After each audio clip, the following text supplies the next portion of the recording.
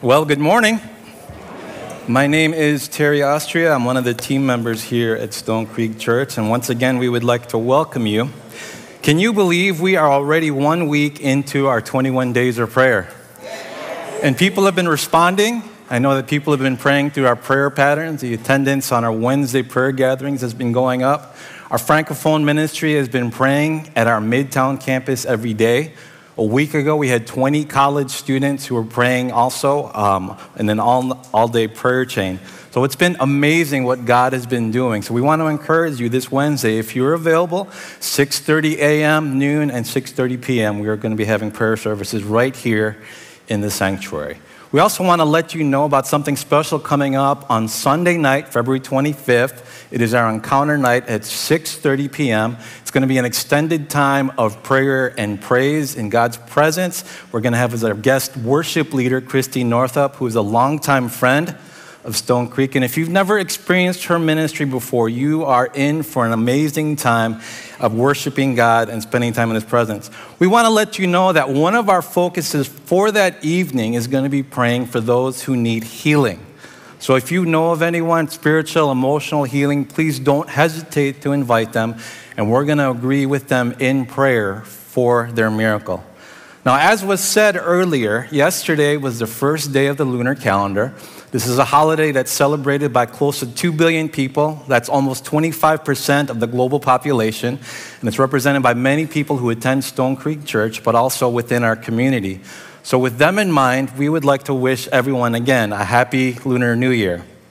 Now, that being said, there's many people here who are wearing red and gold, and that has nothing to do with the two teams that are going to be playing in the Super Bowl tonight. So, just out of curiosity, who's for San Francisco? And then who's for Kansas City? Who hopes they both lose? Who's for the food? Wait, aren't we supposed to be in the middle of a fast? Mm-hmm. So let's turn to John chapter 12 as we look at the message today. I want to give you a little bit of background. The Israelite people are gathering in Jerusalem for the Passover, and we see that Jesus' influence has been continuing to grow over the last three years, especially after he raises Lazarus from the dead. People are crowding in from miles around to hear this carpenter's son from Nazareth. And so on Palm Sunday, we see Jesus entering into the holy city, again, to celebrate the Passover in the temple. And people are laying palms on the ground and they're beginning to cry out, Hosanna, blessed is he who comes in the name of the Lord. But this is the first time I read it this way as I looked through John. And the King of Israel. And as I began to meditate on that passage, I was beginning to think is it possible that the people in Jerusalem knew that Jesus came from the tribe of Judah, which means that he was in direct line of King David? I'm starting to think that possibly the people in Jerusalem were trying to politicize Jesus, that they had a wrong idea of who the Messiah was going to come to be, that they, he's going to free them politically and militarily from the Romans. But we know because we've read the book that Jesus was actually coming to free people spiritually. So, in an attempt to dismantle any political agenda that the people had for him, he enters into Jerusalem not on a war horse, but on a humble donkey. And he doesn't enter in as a conquering warrior, but as a humble servant. So we see here in verse 20 now there were a number of foreigners from among the nations who were worshippers of the feast. They went to Philip and they asked him, Would you take us to see Jesus? We want to see him. So Philip went to find Andrew, and then they both went to inform Jesus. He replied to them, Now is the time for the Son of Man to be glorified. So at that moment, I'm sure people are starting to get excited. They're like, okay, this is what we've been waiting for. This is the one who's going to free us. And then Jesus changes the, changes the menu on them. Let me make this clear. A single grain of wheat will never be more than a single grain of wheat unless it drops into the ground and dies. Because then it sprouts and produces a great harvest of wheat, all because one grain died. The person who loves his life and pampers himself will miss true life. But the one who detaches his life from this world and abandons himself to me will find true life and enjoy it forever. If you want to be my disciple, follow me and you will go where I am going. And if you truly follow me as my disciple, the Father will shower his favor upon your life. So, the title of my message today is Brokenness, the Path to God's Favor. So, there's different kinds of brokenness. Obviously, we live in a broken world. Many of us have experienced broken families or broken lives. Life happens to us many times because we make bad choices and it causes sorrow and grief. But today, we're not going to be talking about the brokenness that happens to us, but rather a brokenness that happens in us. It's a brokenness that leads to spiritual renewal and vitality, that gets us in the right relationship with God and with other people. So, three thoughts I want to share brief, briefly with you today. First of all, we asked the question what is brokenness? We might even be wondering well, how can anything broken be beneficial? You think about your washer, your dryer, or even your car. How could those be beneficial if there's something wrong with it? Well, it says in verse 24 a single grain of wheat will never be more than a single grain of wheat unless it drops into the ground and dies. You look at that passage, that is literally what Jesus did. As the Prince of Peace, dwelling in the throne room of God with his Father, angels attended to him. At the right moment, we know the Christmas story, he drops literally to the ground. We know that he's born in a stable and placed in a feeding trough or a manger. We know at that moment that the infinite merged with the finite that divinity merged with the earthly, that God and human became one. We know that the omnipotent one took on our vulnerabilities, limitations, and even our temptations. Do you think it was a little bit humbling for the Prince of Peace, the very Son of God, to become human? In Psalm 22, verse 6, we see a prophetic messianic verse saying, But I am like a worm, crushed, treated as less than human despised and scorned by everyone. If you think about how humbling it would be for any of us to become as a worm, to be scrounging around on the ground on the sidewalk just to be squashed by someone walking down the street, or to be burrowing through the dirt. Think of how humbling it was for the Son of God to become a human being. It says it very clearly in Philippians chapter 2. And consider the example that Jesus set before us. Let his mindset become your motivation. He existed in the form of God, yet he gave no thought to seizing equality with God as his supreme prize. Instead, he emptied himself of his outward glory by reducing himself to the form of a lowly servant. He became human. He humbled himself and became vulnerable, choosing to be revealed as a man and was obedient.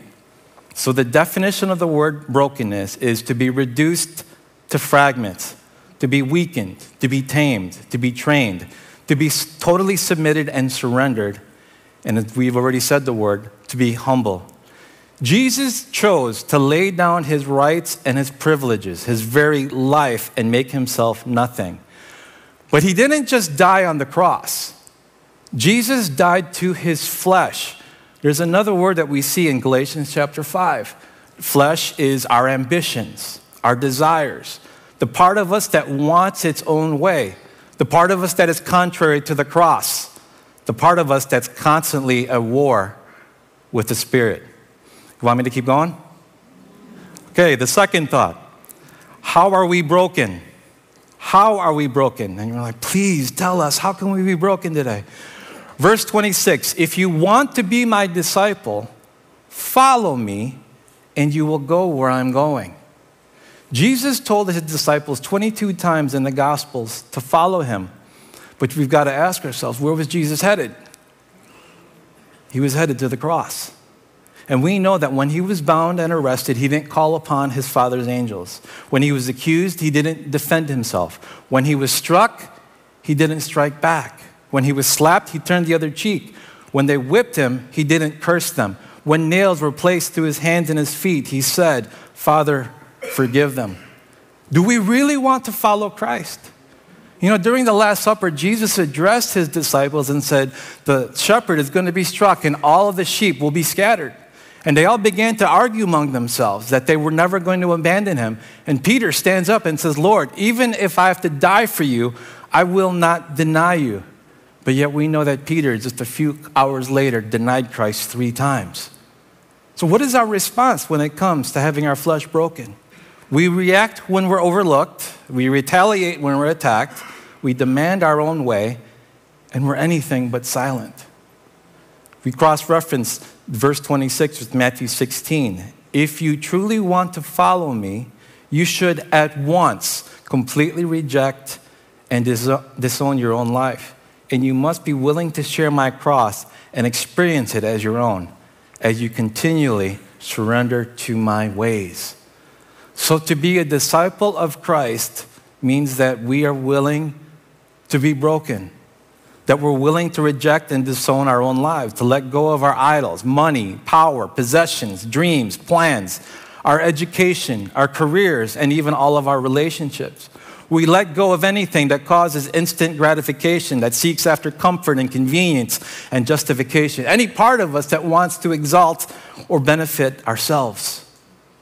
We also are willing to surrender to God's ways. That simply means that we're willing to obey Him, that we can surrender all of the pain that's been caused by other people, that we can surrender resentment, anger, jealousy, greed, selfishness, and all the other self self reliance, self centeredness, self sufficiency, self righteousness, and self preservation.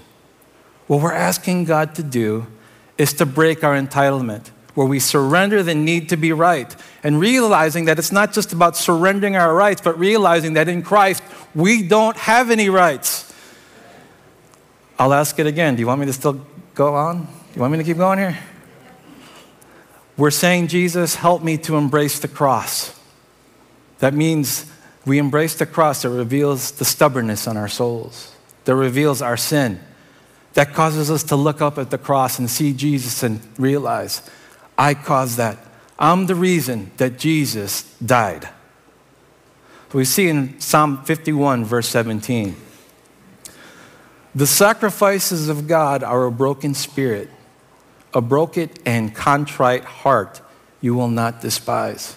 Now, that word contrite is very interesting. In the Hebrew, it literally means to crush and to pulverize. So, if God's going to honor a contrite heart, that means He's going to allow us and we give Him permission to crush and to pulverize our flesh. So, that means that brokenness is repentance and grief over unconfessed habitual sin. Now, sorrow and sadness and tears are great, but it's not just brokenness over our sin, it's brokenness from our sin. Brokenness is also a heartfelt response saying, God, I want to live for you. And with your help, I choose not to sin. I choose to live for you. Brokenness is a volitional decision saying, God, would you destroy my pride and everything that keeps me from you? Brokenness also begs, God, soften my cold, hardened heart. Would you mold me and use me for your glory? Brokenness declares, God, I give up. You're in control. Brokenness produces a healthy fear of God, which means we have a deep reverence for Him. The things of God are no longer mundane or ordinary, that we're assigning to God our highest attention and our highest affection. Brokenness isn't the end of the journey either, it's the beginning toward wholeness, a lifelong process with the Holy Spirit's help. Brokenness longs to know God deeper in prayer, in the Word. Not just on Wednesdays, not just during the 21 days of prayer and fasting, but daily going after God and getting into His presence. It's when we can say, God, in the first thing in the morning, I want to know you more. The last thing on our minds the, when we go to sleep at night is like, I want to know about Jesus. Brokenness is not just dying to self, it's also rising anew from the ashes embracing who God is creating us to be, a new creation. And I would also say this brokenness is the doorway from the superficial to the supernatural. So it's turning around here. When we allow ourselves to be broken, God's wanting to do something awesome in return. So, what are the results of brokenness? We see here in verse 24, speaking of a single grain of wheat. It sprouts and produces a great harvest of wheat, all because one grain died. So we ask ourselves again as we look, there's many contradictory statements here that Jesus is making. How could death produce life? But he says only by this single grain of wheat falling to the ground, its hard case cracking and unleashing what's inside. Jesus himself in his own body demonstrates how death to self produces supernatural encounters revealing God's nature and his character. So here's four examples out of Jesus' walk over three years that we want to look at. First of all, his baptism. John chapter 1, verse 29. Very familiar passages. Jesus is approaching the Jordan River, and his cousin, John the Baptist, is baptizing many for the forgiveness of their sins. And John the Baptist says, Look, the Lamb of God who takes away the sin of the world. I saw the Spirit come down from heaven as a dove and remain on him. The one who sent me to baptize with water told me, The man on whom you see the Spirit come down and remain is the one who will baptize with the Holy Spirit. Now, we want to point out that Jesus, as he approached the Jordan River, didn't have to be baptized. He's God. Why should he have to go through this religious act? But he said, to fulfill all acts of righteousness, I will do this. He chose to humble himself. Now, as we look at this passage in John chapter 1, it's very interesting that there's two animals mentioned there a lamb and a dove. Think about how ferocious those creatures are a lamb or a dove. Actually, it's quite the contrary. If we had a dove right here on the platform and all of a sudden I clapped my hands really loudly or I screamed, that dove would fly away. It's because the lamb and the dove, their nature is gentle and meek. So we ask ourselves the question why should we be broken and humble as the children of God? Is because God is so awesome and powerful? Well, those are good reasons to be humble and broken. But the very reason I believe that we should be is because God's nature is humble and peaceful, which is why He chose those two creatures to represent Himself. And as the Lamb of God, Jesus submits to be baptized by his cousin, a lesser being, a human being, we see the Spirit of God come upon him and anoint him for ministry. This is the birth of what's going to be taking place for the next three years. And it's a crucial moment. Jesus knows that there's going to be a lot of pressure on the soldiers. Not only is he going to the cross, but people are going to be looking to him for the forgiveness of their sins, for freedom from any bondage that they're undergoing. And he has so many different temptations. Could he take this on himself? He's going to grow in popularity. People are going to be rushing to hear him. But yet he chooses immediately to go out into the wilderness to die to himself. He goes on this fast for 40 days and for 40 nights. And I guarantee you, even though it's not mentioned, that he goes into a season of deep prayer and meditating on God's word. At the end of that fast, we see that the enemy comes to him and tempts him three times, threatening to destroy his mission. But once again, because Jesus allows himself to be broken in this fast, he has the power to say no to the enemy. In Matthew chapter 4, he says, Go away, Satan. For the scriptures say, Kneel before the Lord your God and worship only him. And at once the accuser left him, and angels suddenly gathered around Jesus to minister to his needs. Third, we see at the Last Supper. This is a very intimate moment as Jesus is wanting to spend his last few moments on earth with his best friends. He has spent the highs and the lows of the last three years with them, the good times and the bad times. And he just wants to celebrate this special meal, honoring the Passover, with the disciples. And he's wanting them to hear what he's saying as he's praying for them, that the Father would bless them and protect them after he goes away. And they're still not getting it because it says in Luke chapter 22 a dispute arose as to which of them was considered to be the greatest. How broken Jesus' heart must have been at that time. They're arguing over which one of them was going to be the greatest, which one of them was going to carry on the work. And Jesus just wanted to embrace them as his friends.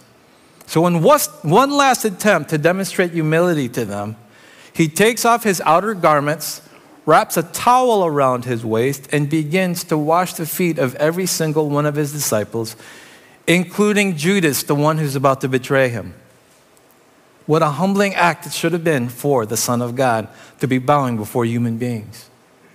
Shortly after that, as they're in the Garden of Gethsemane, Jesus is on his knees praying, asking the disciples to pray with him because they're going to be sifted later. It says that he was undergoing so much anguish that his perspiration was as blood dropping to the ground. He was growing anxious and nervous and in torment because he knew he was about to go to the cross. In Luke 22, it says, Father, if you are willing, take this cup from me. You see the temptation there to give up, the temptation to walk away. But he says, Yet not my will, but yours be done. The anguish was so great that he repeated this two more times. This temptation again. But once again, Jesus appeals to his Father, and because of his humility earlier in washing the feet of his disciples, Jesus receives the power to say yes to his Father. Father, I'm going to do your will. Brokenness says, not my will, but God's. Not my effort, not my agenda, not my desires, not my dreams, not my opinions, but Father, your will be done. And then we know at that moment that Judas arrives with the temple guard they arrest Jesus and bring him to the house of Caiaphas where he's accused. False accusers are raised up to say different things about Jesus that he never said. They begin to slap him, they begin to spit on him. Hairs are ripped out of his beard. He's absolutely humiliated. And then they bring him to the governor where he is flogged with a whip. His blood begins to strike the ground. And then the Roman guards put a crown of thorns upon his head. He is forced to carry his own cross to Golgotha, where they placed nails through his hands and his feet. And he hangs there for hours. Once again, we see the Lamb in perfect submission to the Father's plan. But hear me when I say this Jesus was not merely the Lamb because he died on the cross, he died on the cross because he already is the Lamb and is now risen. And because he humbled himself on the cross, he won victory once and for all. This means he achieved for us forgiveness of sin. Now there's peace between man and God. We can all have eternal life. And death and the enemy have been defeated. But there was also something awesome that happened to Jesus that he received all authority in heaven and on earth.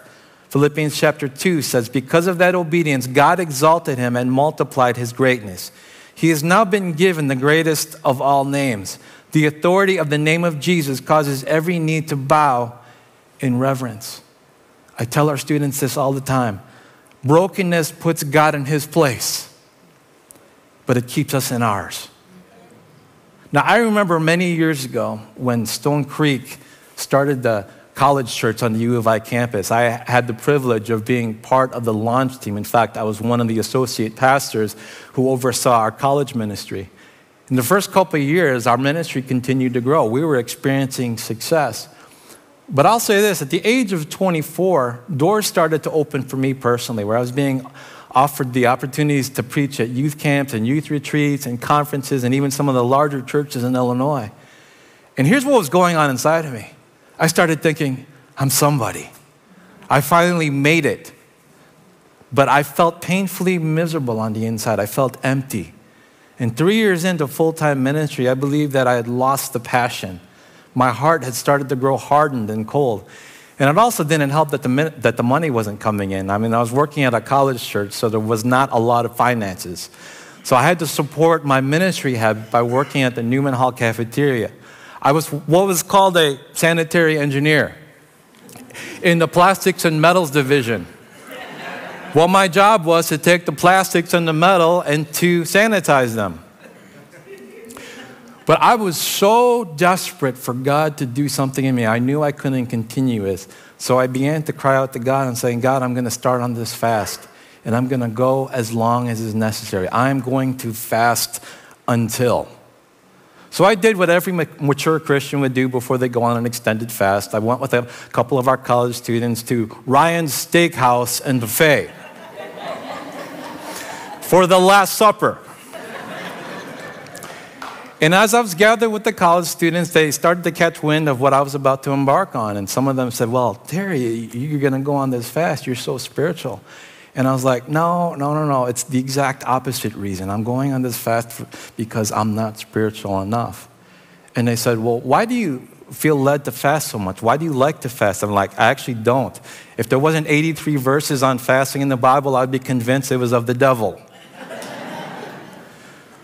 but something pivotal happened at that moment. One of the college students looked at me and said, Terry, you know what? I've come to the point in my, real, in my life that I realize that in order for me to be happy, I have to be rich. And I looked at him and I said, You know what? I, have come to realize that, you know, I would like to be rich also. But I also don't think that's what God has for me. And I believe that God has something even better the riches of his kingdom. So I embarked on this fast, and uh, just to make a long story short, um, I'll, I'll, say that on day eight, I'm gonna, I'm gonna fast forward through some of this. On day eight, I was starting to grow in frustration because here I'm starving to death. I'm fasting, I'm really wrestling with this, and I'm saying, God, I need this breakthrough in my life.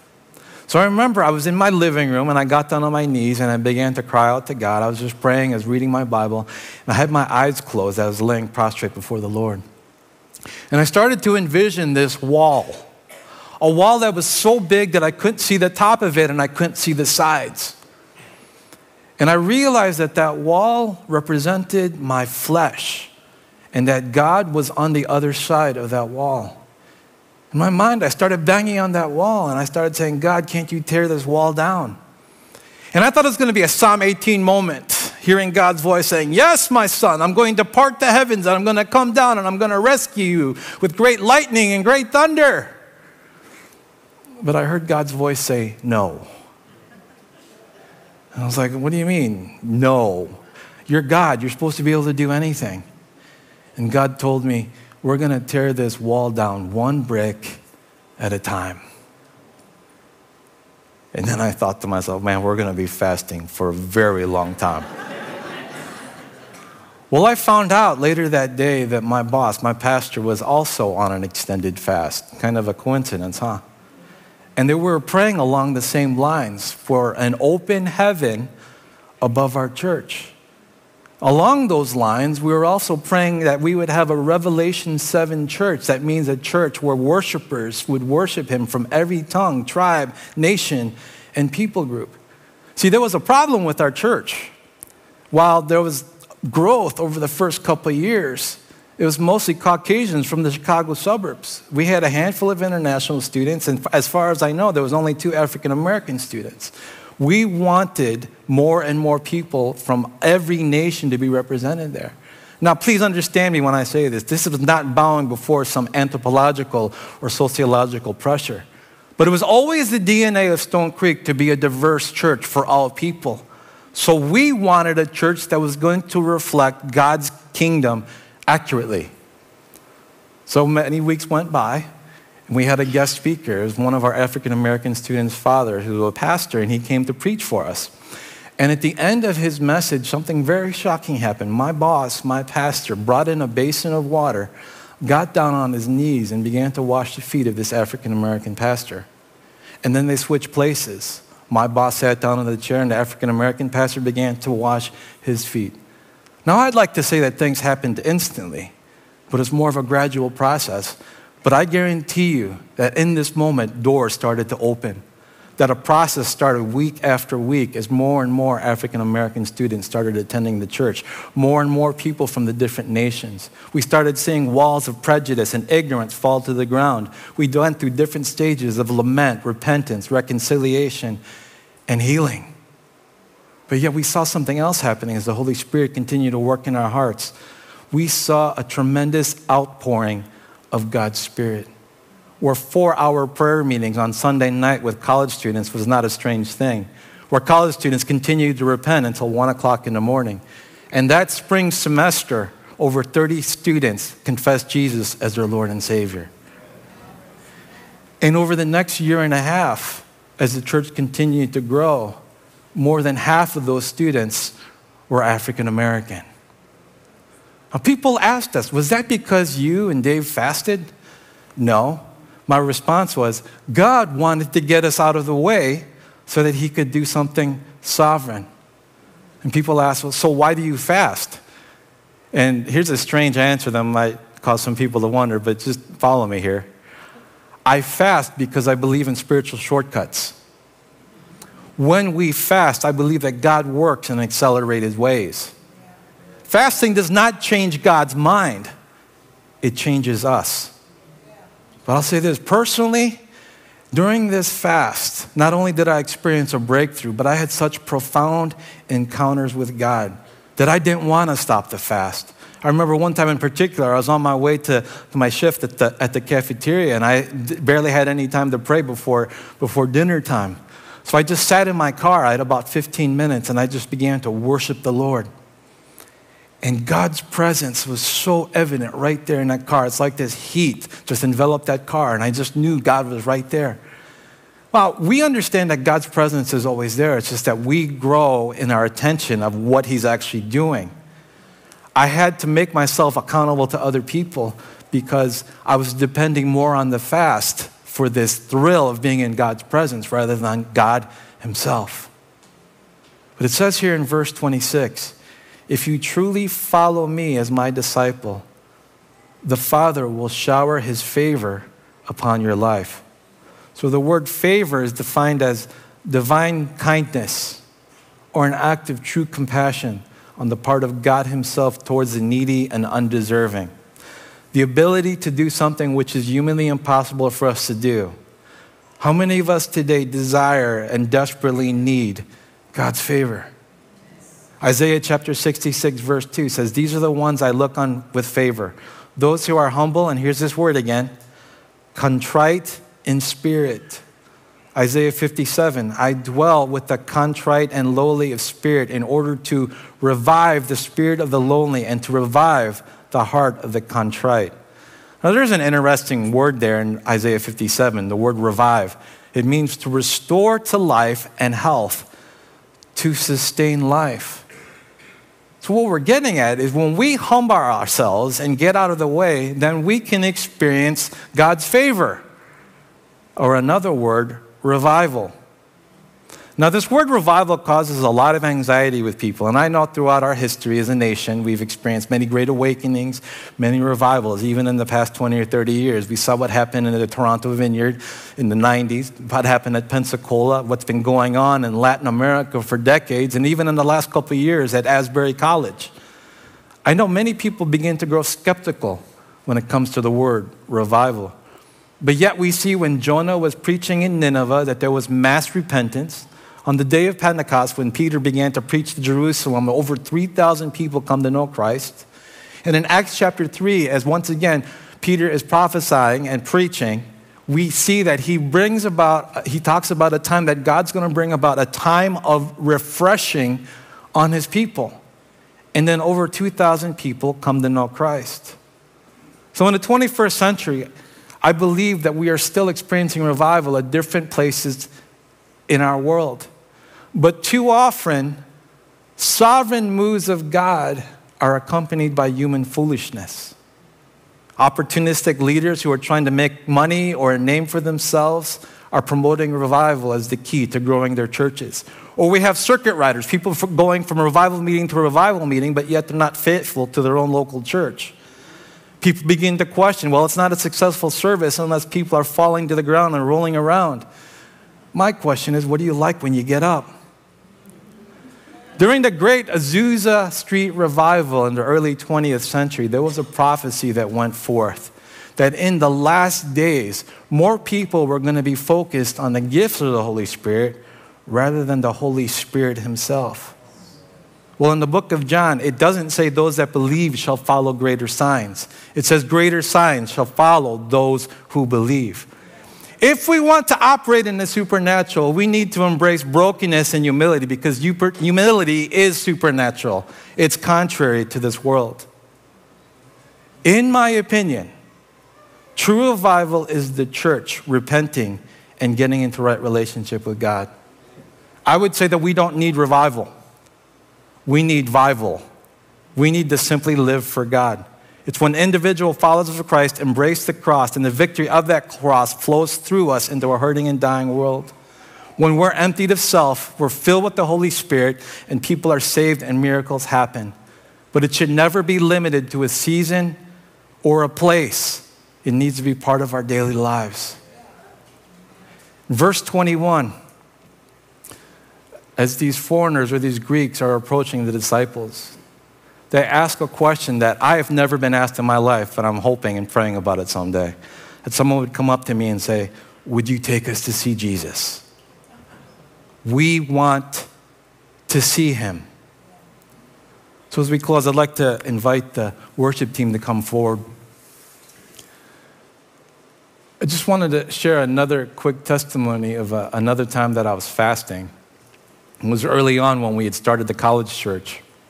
And we were really praying for a harvest of souls. You know, we had seen a lot of church kids coming to our, our, our services, but we hadn't really seen too many confess Christ as their Savior. So that was our prayer. And I said, you know what? I want to go on this 10 day fast. I want to pray that God would bring in this, this season of, of, of, of, of planting seeds and watching people begin to confess Jesus as their Savior. So on the first day of this fast, I mean, I'm really being honest with you about my struggles fasting. So on the first day of this fast, my roommates were gone for Christmas break, and I was alone. So I had the whole apartment to myself. I would just walk and pray. And I remember kneeling down in the living room again and beginning to cry out that professors and students and administrators at the U of I and Parkland College would come to know Christ. But I just didn't really feel like there was a lot of anointing. There wasn't a lot of unction behind my prayers. There wasn't any authority. So I just felt like the Lord was wanting me to just be quiet and just pray in my spirit language and to just focus on praising Him. Well, that day went by. I was just uh, on a water fast, and the next day, um, I was praying again. And as I was praying in the morning, I felt that the Lord wanted me to do something a little bit strange. So I went to you know, my pastor at the time and I, I explained to him what was going on. And he said, Well, if that's what the Lord is leading you to do, you better do it. So, what God was calling me to do, please uh, humor me for a second here, was calling me to go to the middle of the UI campus to the quad and to lay on my face before Him. So, being the mature, bold man of God that I am, I waited till nine o'clock at night when no one was going to be out.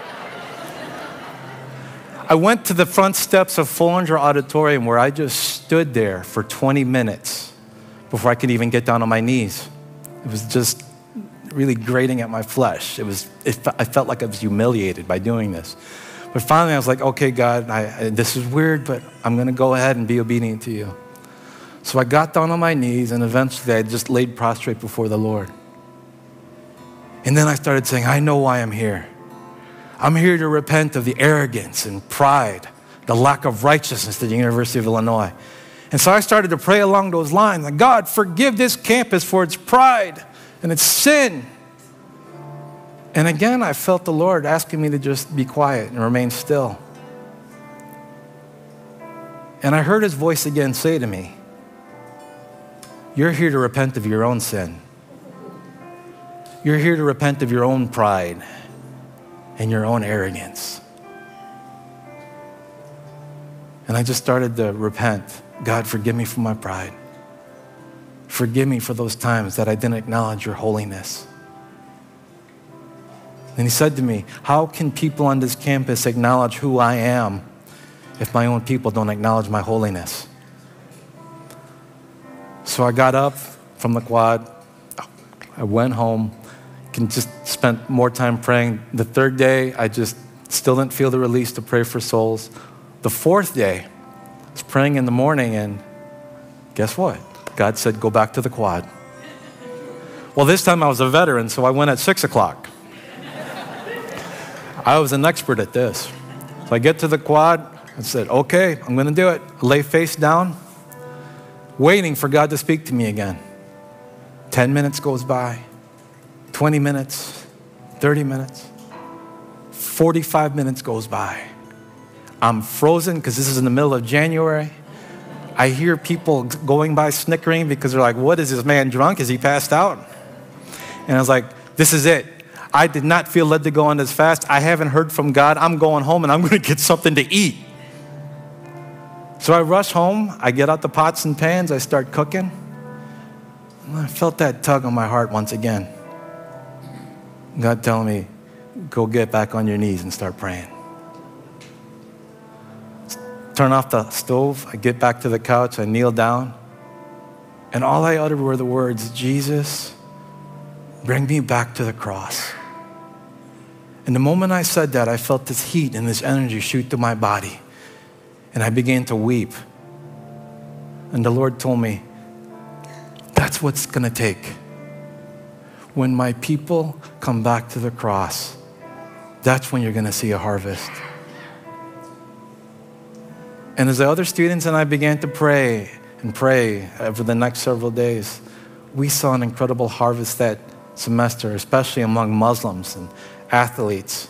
Let me tell you, it was a great way to get basketball tickets. We saw international students come to know Christ. It wasn't, again, because of our fast, it was because God was wanting to do a work in His people first before He would bring people unto Him. We close with this quote by missionary Roy Hession To be broken is the beginning of revival. It is painful, it is humiliating, but it is the only way. Let's go ahead and stand to our feet. These next few moments, as the worship team leads us in this song again, you might want to lift your hands if you feel comfortable doing that. But let's give God our all. Let's give God our best in these next few moments and just begin to think on these words. We're not just giving Him half, we're not just giving Him three quarters. God, we want to have, we want you to have everything that we are.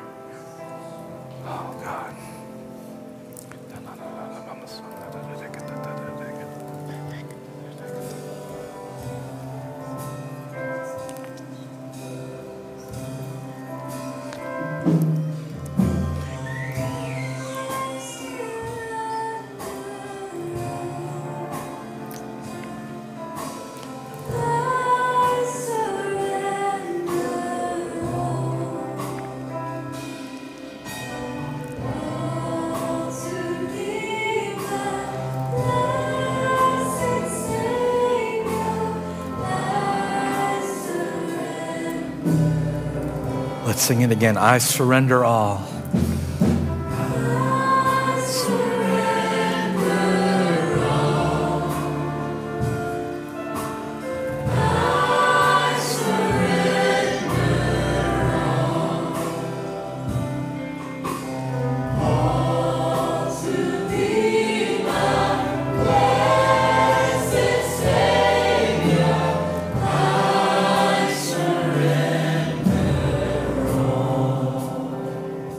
Next few moments, we just want to have a prayerful experience in God's presence. So, as Pastor Ricky has us do quite often, just ask that you lift up your hands, palms up. Just begin to ask the Spirit on your own what is my response today? You might be here today, you're thinking, wow, that's some crazy stuff that that guy was talking about, but I really want to know what it means to follow Christ and to know Him as my Lord and Savior. Is it possible today that you need to be born again, as it says in John chapter 3? As we encourage people all the time, all we have to do is to admit that we're sinners, to believe that Jesus is the only way to be saved, and to confess Him as our Lord and Savior. Just on your own, begin to say those words Jesus, I want you to save me. I want you to rescue me and forgive me of all my sins.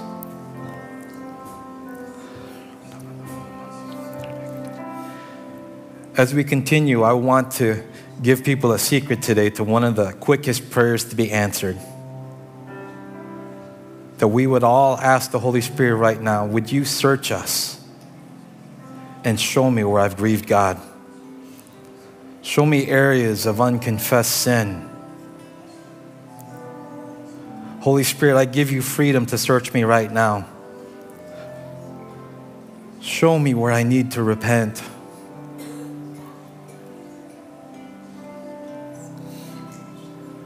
Holy Spirit, would you show me where I need to die to self?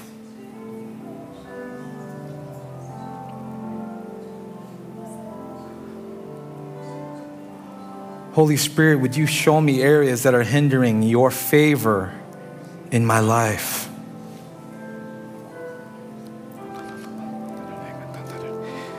Oh God, we need you.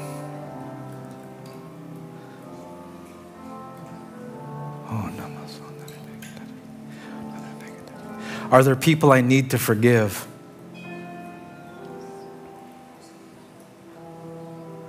Are there people I've been bitter towards?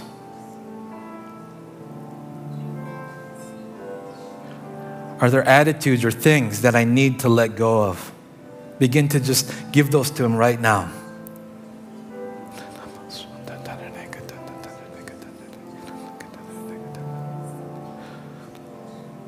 Are there rights that we need to surrender?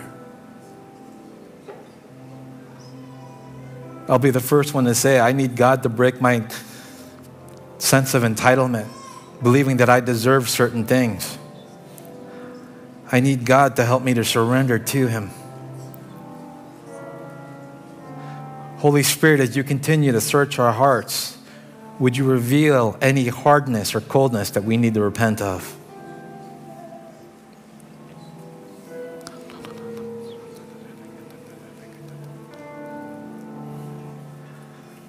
God, any mistakes or failures that I've made in the past, help me to move past them.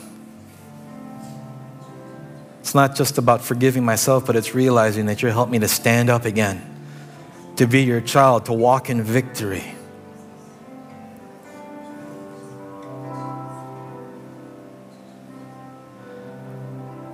God, would you help us to be contrite, to be humble, and to be broken?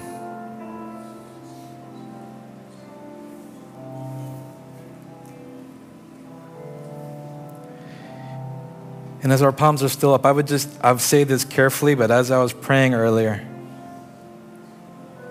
I just heard in my, in my heart God saying that there's someone here specifically today. You just need to hear the word, it's time to live again. You've been bound by failure and mistakes for too long. You've been walking in darkness thinking that God could never forgive you that your time of grace and favor was done and that you were only going through the motions. But would you receive this word from God today? It's time to live again. And God, in all of our hearts, would you rain down your favor?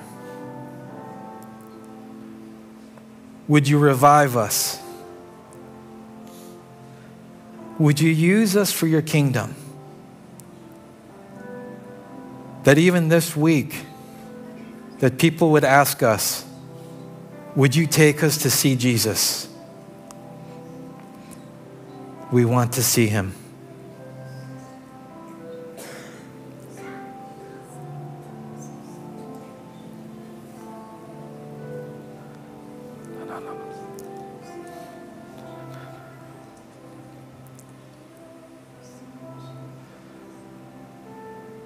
And Father, we just come before you again and say thank you for your son Jesus who laid down his life for us, showing us a true example of humility and brokenness. And we ask that you would help us to demonstrate these attitudes in our lives, that it will be a heartfelt change and transformation that takes place. We thank you for this word, that at times it may have hurt, but that you love us so much that you're willing to discipline us so that we could get up stronger and more able to serve you and to serve others. Just ask that you would bless us today and throughout this 21 days of prayer and fasting, that you continue to speak to us and lead us on this process that you have. God, we thank you for Stone Creek Church. We thank you for a pastor who honors you and prays and who worships you. We pray that you would bless him this morning as well. It's in Jesus' name we pray. And everybody said, Amen. Amen. Well, thank you for uh, humoring me as I shared that word today. I guarantee you it was, it was very difficult for me to prepare for that. You know, I, I always ask God that, you know, He would deal with me first before I share a message. But we want to thank you again for coming today. If you prayed to receive Christ, or again, if you're new here, we'd just like to ask you to stop by our welcome area on the way out. We'd like to invite our leaders to come forward. If you need prayer for any area in your lives today, would you just go ahead and uh, approach one of these leaders and they will agree with you in prayer. Thank you again for coming and may you enjoy the rest of your day. Be blessed this week.